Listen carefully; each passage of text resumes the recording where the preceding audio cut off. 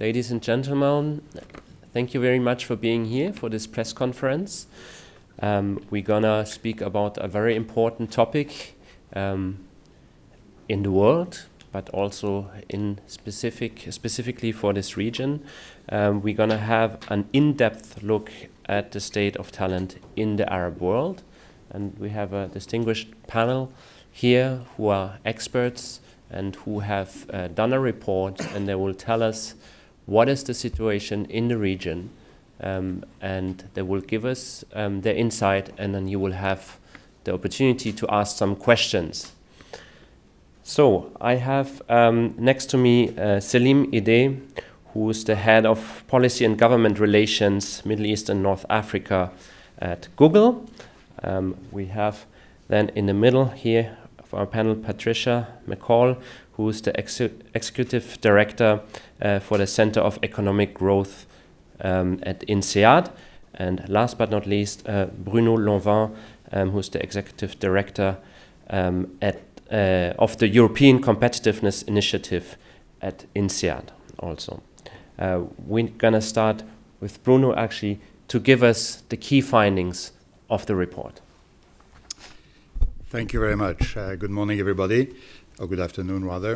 Uh, the, uh, the report we've been uh, presenting here uh, at the, uh, the Dead Sea meeting of the, the World Economic Forum is the most recent baby of a series of production. Basically, we produce every year the Global Talent Competitiveness Index, which we launch in Davos. So typically in January, you have the global report that ranks 118 countries in terms of their talent competitiveness. The idea behind it is that talent, that is human capital, is what conditions countries' ability to compete on the global scene, their capability to innovate, and the capability to benefit in particular from technological change. Without the right kind of skills, without the right kind of talents, the benefits of technology driven, data driven globalization may be lost to large parts of the world. That's the, the background and why we do this exercise every year. The MENA region, Middle East, North Africa region, is the only region for which we have a regional report. So we believe very much that this is the part of the world where things will happen, have started to happen, and may be an example for the rest of the world. There are specific difficulties, there are specific challenges, and specific opportunities, in particular due to demography, the youth of populations in the Middle East regions and Arab countries, that makes it a very, very important target for our own research and a very powerful example for the rest of the world. That's, again, the broad picture and why we are launching this report here today.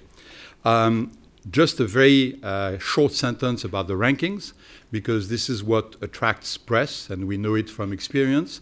We insist on saying that the rankings are only the tip of the iceberg, and the proof of the usefulness of this report is in action. That is whether governments, private businesses, academia, individuals use this report to actually change their behavior and enhance their talent competitiveness on the global scene. Right now, in the region, we have ranked the 12 uh, countries that for which we had data uh, in, uh, in the region.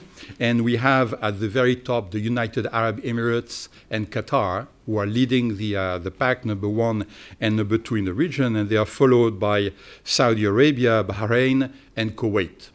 Uh, Jordan uh, is number six in that ranking of, of 12, which reflects the ranking of Jordan in the overall uh, exercise, uh, since uh, Jordan is number 58 out of the 118 countries. So it's quite symptomatic that whatever number you take, you divide it by two, and that's the ranking of Jordan. So maybe Jordan likes to be uh, on the average, not to be uh, uh, not to be noticeable, but we'll have time in the discussion to come back to some of the specifics of Jordan as a country in this region and why uh, it is so much of an example for many other countries. I think a very important part is technology. So, uh, Selim, um, can you tell us a little bit um, what role technology plays? Uh, certainly. So, uh, uh, we asked ourselves the question can the MENA region catch up? And uh, the answer came back as we are all optimists yes, it is possible. as long as we uh, use technology as a game changer. And um, as you know, this audience knows this very well, that uh, technology can change uh, things for the better. So how can this be? Uh, can this happen in the MENA region? Uh, remember, the MENA is um, youth rich in terms of 60% of the people in MENA are under 25, and that is a source of talent.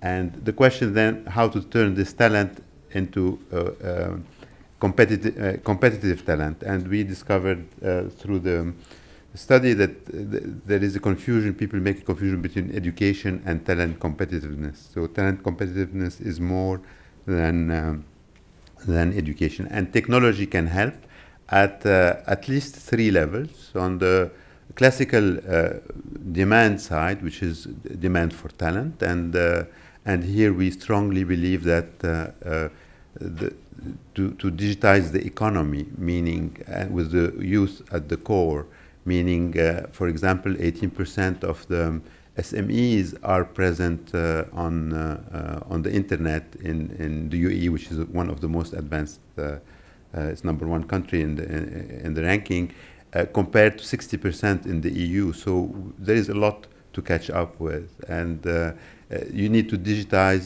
the economy with uh, uh, with SME being the, the main driver. That is from a demand point of view. Now, technology, there are new technologies that are coming, like machine learning and artificial intelligence, uh, augmented reality, virtual reality, all these will will uh, uh, will contribute greatly as well to the to the demand side. On the supply side, uh, this is where uh, the confusion happens between education and talent competitiveness. Uh, preparing people to be competitive, you need education plus something else.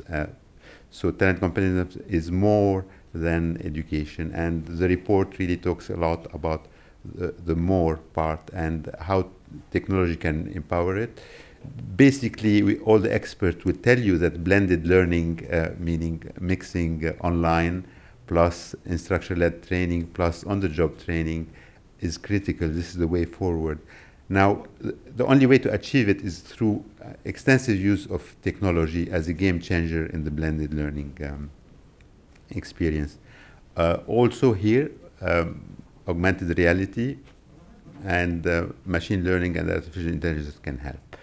The last uh, element is uh, the, the, the, intermediary space between demand and supply. This is what we uh, like to call the, the poor cousin. Uh, not, uh, not enough emphasis is given on this, uh, yet we see the role of the platforms globally, how they are creating the right connections between the demand and the supply and actually creating opportunities. and this is, this is extremely important. We can, there are many great examples here in the MENA region about, about how these platforms are, are changing the game, and they are technology platforms. Um, and um, uh, one very important point as well is that here again, machine learning and artificial intelligence is actually um, accelerating the intermediary space and making it more, far more effective.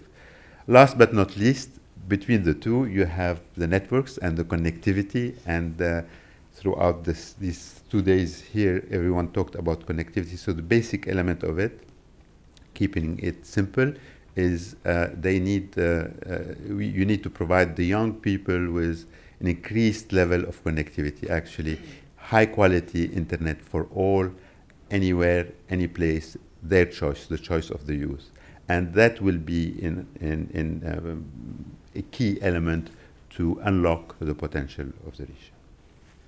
Thank you very much, Patricia. You have some dimensions also um, to add from the report. Um. Sure. So, so one of the things that we also focused on, as Selim uh, alluded to, is that talent exists in an ecosystem that is beyond education and, and lifelong learning and executive education. And so one of the aspects of the report focuses on the entire ecosystem around private sector development and how do we encourage economic reform and investment climate reform. So there's four areas that I wanted to highlight. The first is the labor market, as we're all aware that about 30% region-wide of the employed um, uh, workforce is in the public sector versus 10% globally. So, one of the challenges is how do we move, um, especially the youth, out of the public sector and into the private sector where they can, they can be more competitive and, um, and more jobs can be created in the SME sector. So, that's one of the challenges we highlight. The other is on education.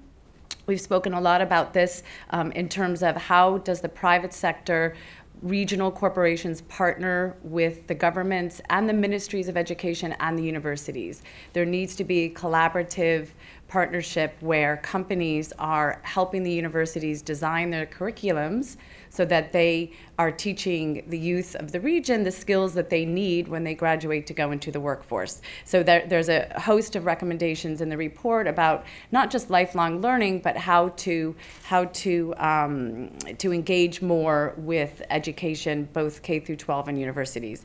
I would also highlight the legal framework. So so in terms of talent competitiveness, there needs to be a competitive environment for job creation. So we still need to look at labor market flexibility hiring and firing, bankruptcy laws, IP laws, things that create a vibrant private sector so there can be demand for the skills that the youth are developing. And then lastly, I'll point to the entrepreneurship ecosystem we do if you look at the variables for each of the countries we do look at things such as starting a business how easy is it to get access to finance research patents all of the areas around developing entrepreneurs and and how how we can facilitate better growth within not just SMEs, but young entrepreneurs and, and those opportunities for the youth. Um, there's several other issues that we talk about in the report about the private sector role, and I think it's important to make sure that this talent competitiveness is both a government but also a private sector issue. Thank you very much, Patricia. Um, thank you um, to all panelists. We have now um, time for questions. Um, if you if you want to ask a question, please introduce yourself and and to who you want to address the question. We have about um, 10 to 15 minutes. Do we have a immediate question here here in the panel? Yes, please. Please wait for the microphone. Okay, my name is Lara Abdelmalak. I work for Pan Arab Business Magazine, Iqtisad Amal. My question is, why did uh, why did you Google uh, decide to do this uh, research, and how does that bring back either to the business or your efforts in the MENA region? Uh, thank, thank you. you. thank you, Lara. Great question. So, um, uh, why we're here is because uh, this report has unique um, aspects. First of all, you know, in the Middle East, we, we all have opinions. We come to the table and we discuss at length, and it's always fascinating and it's good to come to results. So this report is data rich. It has a lot of data if you go through it. And uh, when data comes to a meeting, actually it speaks for itself and hopefully people will start uh, a, a, constructive conversation that will lead somewhere.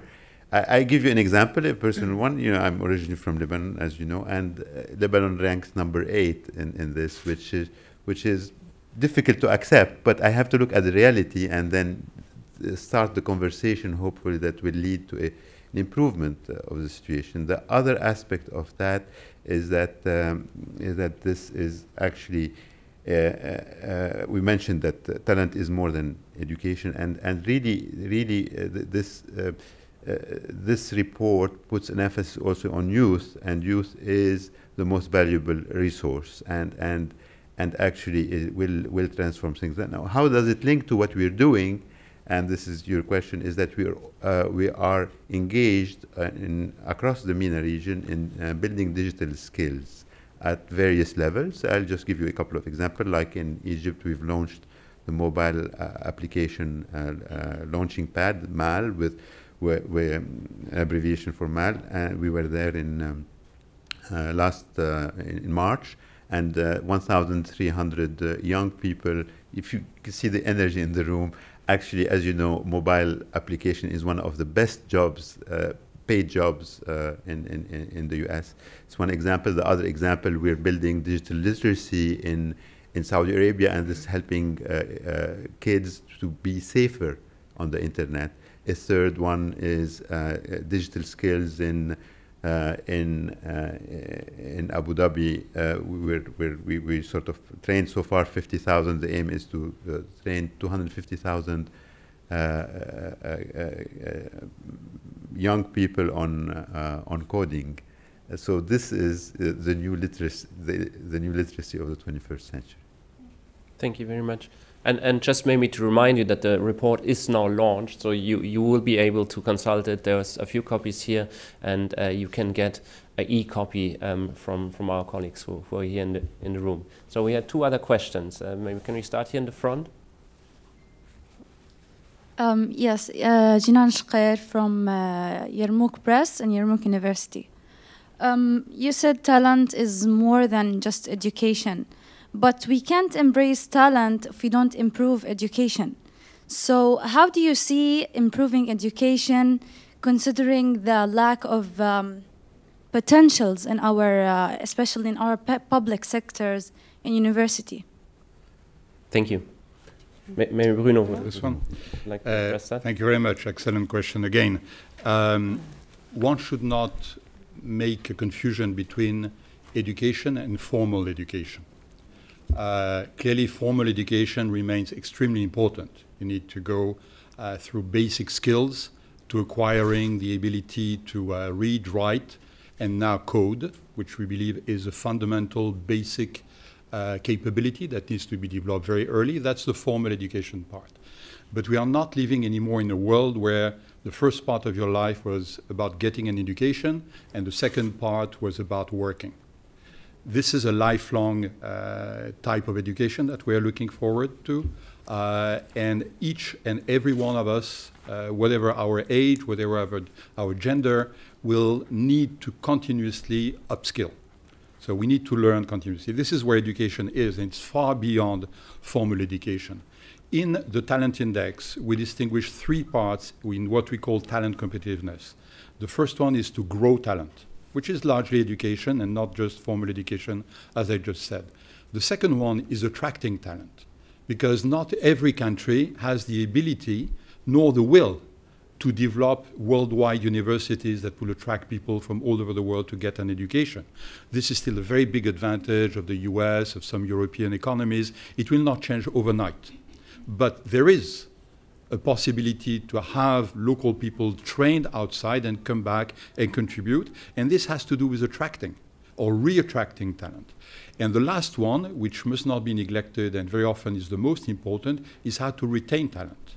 In the GCC, uh, we can think of many economies which have been very efficient at attracting talent, but this has, this has been high caliber talent coming for two, three years, getting some money and going back to live with their family elsewhere how do you encourage these people to set roots, to come with their family, to live there and contribute to the growth and the competitiveness of the economy? So growing, attracting, and retaining are the three pillars to be considered. And education is clearly a very important part.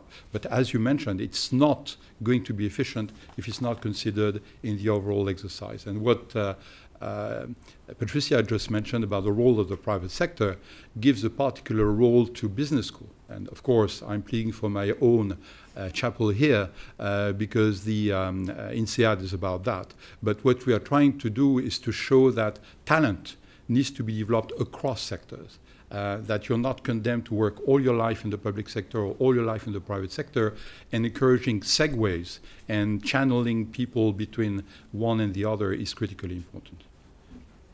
Thank you very much. Uh, we had another question. Uh, unless you, Selim, do you want to add? I, I just wanted to, to add uh, something that would please uh, Bruno is that uh, uh, you know he has a Cartesian mind. So it's we say talent competitiveness is education is necessary but not sufficient, right? In, in, in from in a mathematical way of, of, of saying so so that extra thing is is that ecosystem that clearly was articulated. If you want a formula to illustrate what we, we share uh, as a passion in common um, about formal education and informal education, think of the difference between science and technology. Okay? And we are fond of saying science is what a grandmother can teach a granddaughter, and technology is the other way around. Okay? Mm -hmm. And this summarizes the way we should look at education. Thank you. So we had a second question here. Uh, my name is Hala Abu Hijle. I'm from a Dastur Daily newspaper. Uh, I want to ask you about uh, Jordan ranking in the index, how can uh, Jordan, uh, how do you evaluate the performance of Jordan and how can it develop uh, regarding uh, regarding uh, partnership between private and public sectors? Yeah, this is typically the kind of questions we hope to get into through this report. We want to encourage countries to bring the findings in their own national context. So I can only be very brief here, uh, but that's a discussion I'd be very happy to, to pursue later on. Uh, out of the three pillars I mentioned, grow, attract, and retain, the weakness of Jordan is in grow. Okay? As it is for many countries in the, in the region, it is the ability to train people in both vocational skills and what we call global knowledge skills at home. Uh, the, uh, the most talented people, students, have to go abroad, get an education, and then there's no guarantee that they would come back. A number of them is still attracted to public sector jobs, which puts additional pressure on the private sector. But Jordan, being a small economy, also has the agility that bigger economies in the region uh, don't have. So we see many examples um, whereby, sometimes pushed by uh, geography, or pushed by demography or pushed by politics in the, in the region, uh, Jordan has proved that uh, innovation is part of the mantra. Uh, the high number of refugees, for instance, creates additional pressure on the economy and creates some model behavior for many countries, not just in the region, but in the world.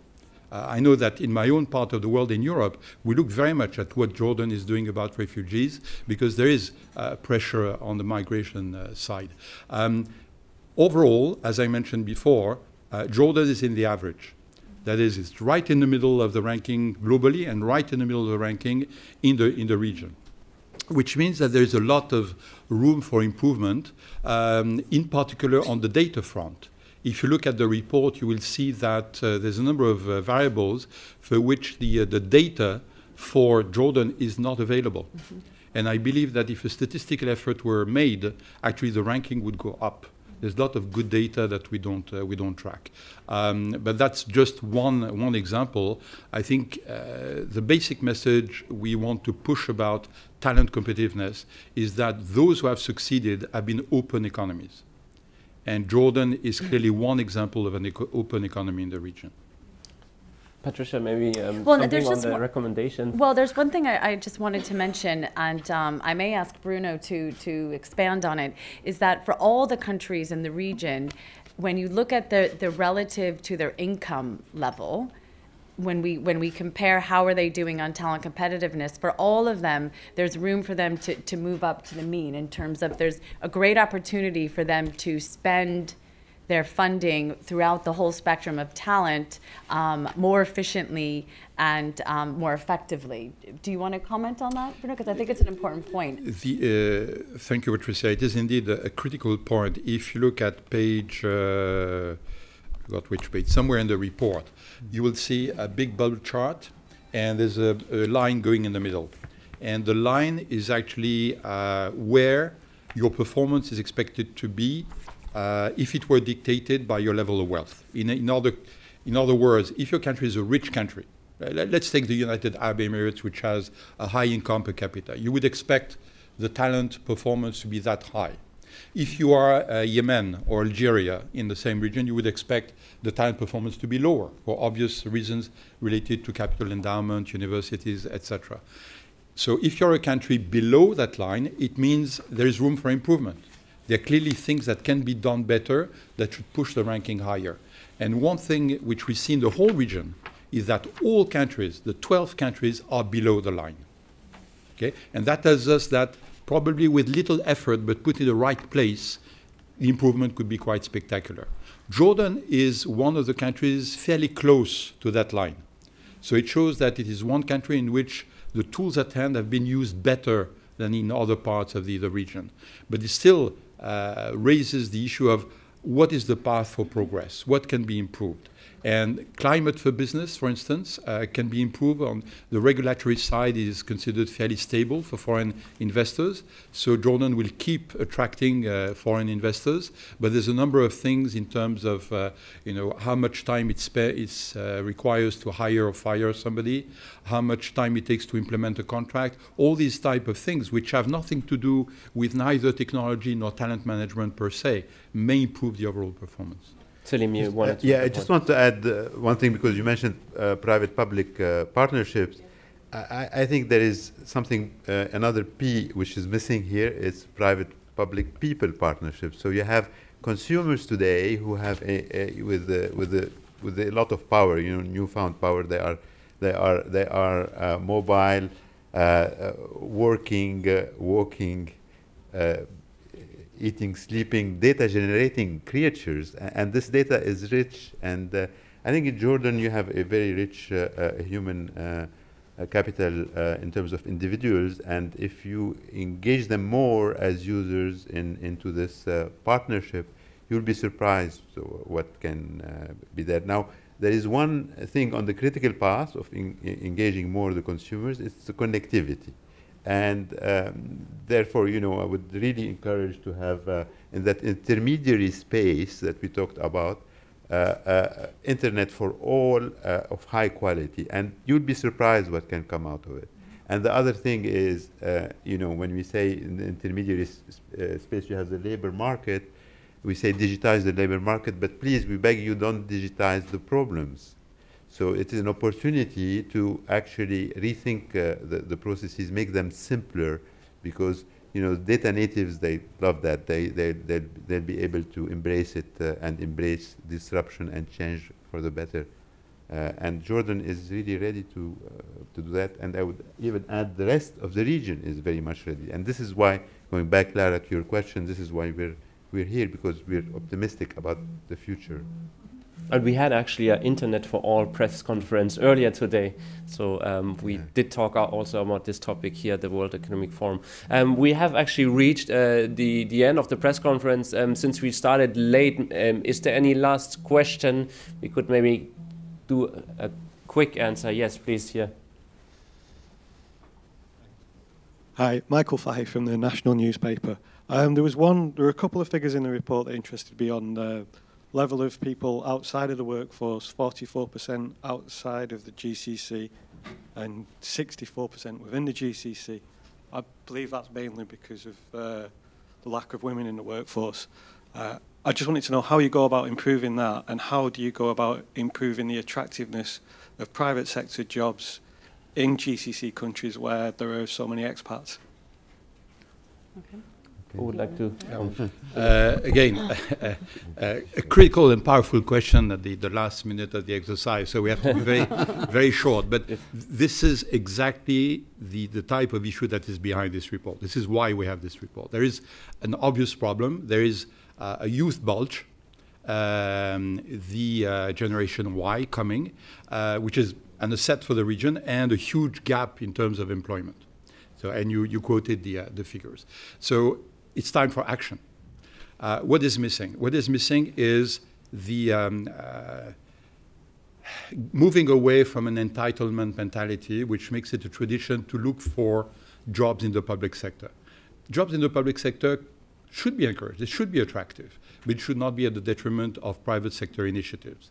Um, identifying heroes, role models, young people will start with, uh, Selim mentioned earlier, you know, an app that's become successful, everybody wants to use, and herald this success, show that it can happen. That, that will be a powerful magnet for talent in the, uh, in the region. And the third one, on the gender side, uh, we see a number of situations around the world, and uh, no region is an exception. In Europe, for instance, uh, until the end of secondary studies, girls are performing better than boys in terms of STEM, science, technology, and mathematics.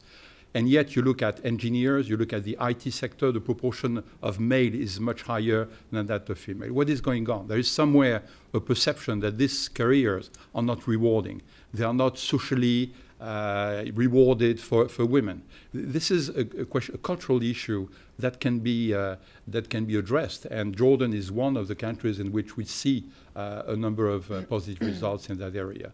But the most important is the point that both uh, Patricia and Selim mentioned before. This is a young region. Uh, so youth unemployment is the key issue to be to be addressed.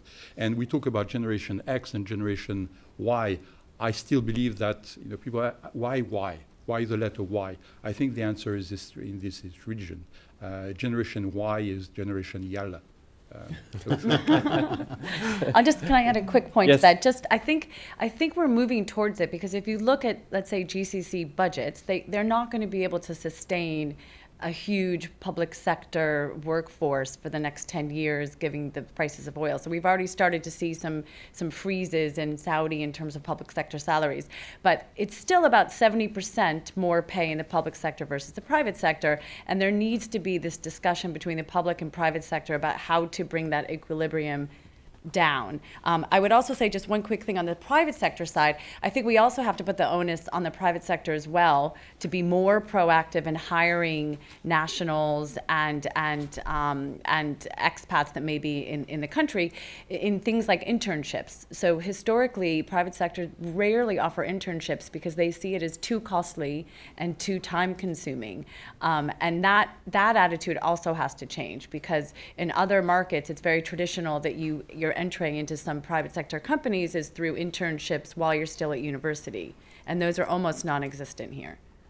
Selim, anything you would like uh, to ask before we close? Yes, because I think it's it's uh, uh, you asked specifically about the GCC, uh, and of course the, the, the, classical answer would be make it less attractive to work in the in the public sector. But what if we do something different, and uh, uh, if you provide broadband, massive broadband, to everyone. Uh, the youth, we say that this region is growing younger, so by the day, uh, and they will astonish you what mm. they can do. We, we know that, for instance, we have um, YouTube creators who left their day job to actually be full time doing uh, YouTube creation, and, and this is it's a brave new world, brand new uh, opportunities where actually equal men and women are participating there. I, will also give you an example not uh, from from uh, uh, Google, but actually I heard here uh, the Careem story in, in, Saudi Arabia. They provided a platform to to to help, uh, as you know, um, transport, and, and, then all of a sudden they created 250,000 jobs, and 70,000 of them are in the GCC in Saudi Arabia. They are Saudis, so this was like it was unheard of uh, a few years ago, and that's I would say the, the, the transformational power when you put technology easy to use uh, together uh, of high quality, you, if you if you put it in uh, in touch with with youth, then things things extraordinary things can happen. And I remind you that uh, the World Economic Forum did um, select 100 startups that we featured here at the summit. So I think that's also part of, of, of that whole story. So thank you very much to our distinguished panels today. Thank you for coming here to this press conference and, and uh, hope you have a, a nice uh, end of the meeting. Thank you. Thank you. Thank you. Thank you.